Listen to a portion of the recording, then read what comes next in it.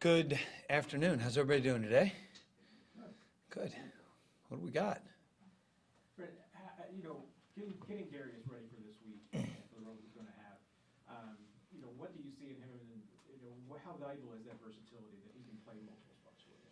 You know, it's big. Um, Darius done a great job uh, over the time of his career here, just learning and t- continuing to improve each and every day. I would say that the one thing that has impressed me is what he's done from a mental standpoint, um, particularly in his ability to communicate, his ability to run the defense, um, his knowledge of all of the calls, all of the communication has helped him in terms of being able to adjust to different positions. Um, and we've asked him to do a little bit more of that as, you know, he's gotten into his second and third year here. Um, I think it's served him well, and hopefully it's going to continue to serve him well. The, obviously, it's a monstrous challenge go tackle Jonathan Taylor. This is not an easy thing. Uh, What have you seen from him so far this year?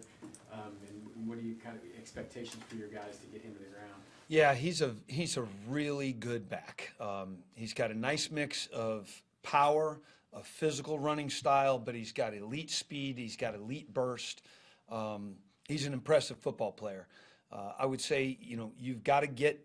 You can't let him build speed. That's one of the things. If he's able to to get downhill on a 45 degree angle and not break stride, man, it is a tough play to make. Um, we got to build a wall up front with the defensive line, with the, the linebackers. We've got to eliminate space in the front and not let it get started, would be the first thing. Um, when he does, we- we've got to tackle well.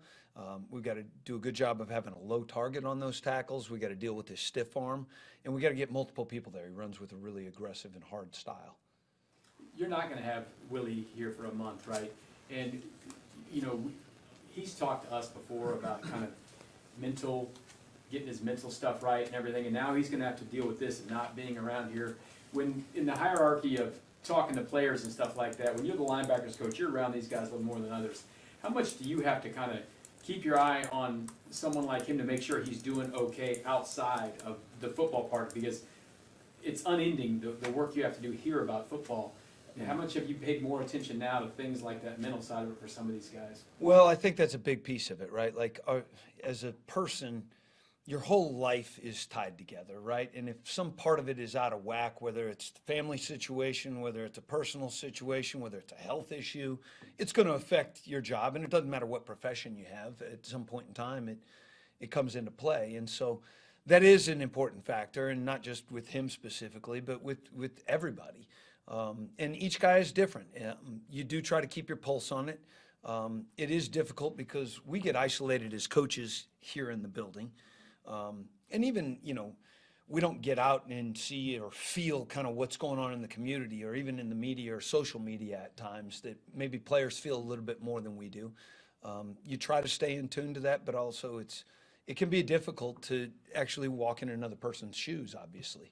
Um, so you try to build those relationships so that the players are open, they're honest, they're willing to talk. Um, you do start to sense when there's something going on.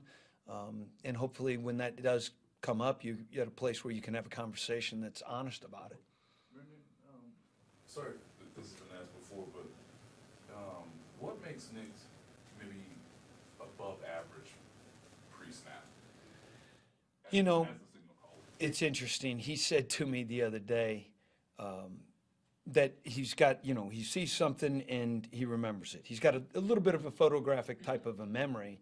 And when he said that, I, I, my comment back to him was, after being around you for a while, I, that's not an overstatement. Like he does. He's very, very um, quick to learn, understand. You tell him something once, and he's got it.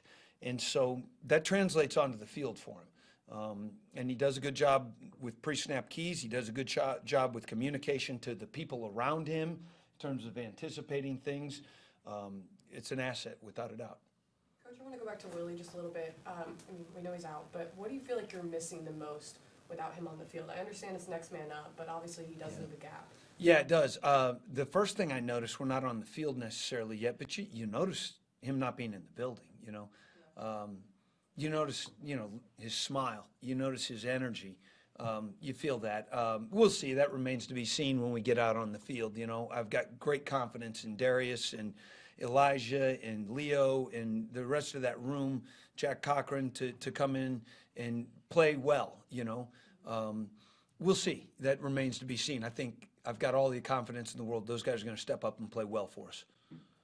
Last one with, with Jack bringing him up and everything, what is it, is it that you kind of saw in him as being a young guy and everything like that that's ready now? Well, he's done a nice job since the day he got here, to be honest. Um, been very impressive in terms of his football IQ and the way he works and the way he prepares. Uh, he's got some athleticism out of him. There's a little bit of natural instincts and awareness to him on the field. Um, he, he gets football. Um, he feels things, uh, you know, a little bit naturally um, that allows them to be instinctive and make plays. Thanks, everyone. Thanks. Thank you. Yep.